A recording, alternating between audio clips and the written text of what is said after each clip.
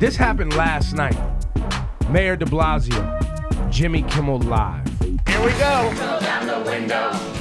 Put back the top. Back up the Beach Boys, baby. Don't let the music stop. Yeah. We're gonna ride it till we just can't ride it no more. That's our mayor. From the South Bay to the Valley.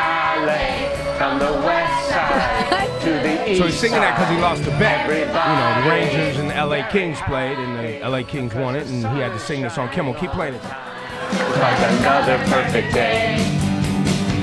I love LA.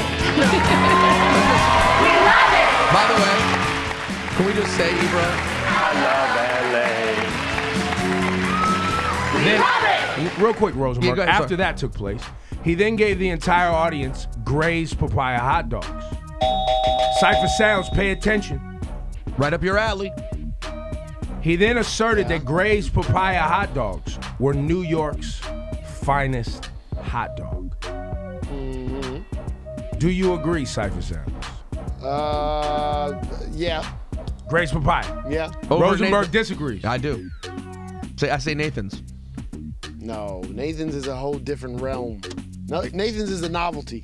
What do you mean? They both are a, of are weird, unspecified meat in a bun. Uh, Nathan's is different. Nathan's is just historic. no, it's delicious. Mind you, I love Nathan's. Don't get it twisted, but that papayas late night. So you, but you put Gr- Gray's papaya because of the convenience, is what you're saying. convenience, uh, attitude, the drink selection. You like the fruit drink? They're, they Come were on. early on those fruit drinks. early? I get a champagne, uh, uh, uh, champagne cola, whatever. So I open it up to the audience, 800 223 9797. It looks like Gray's papaya versus Damn. Nathan's.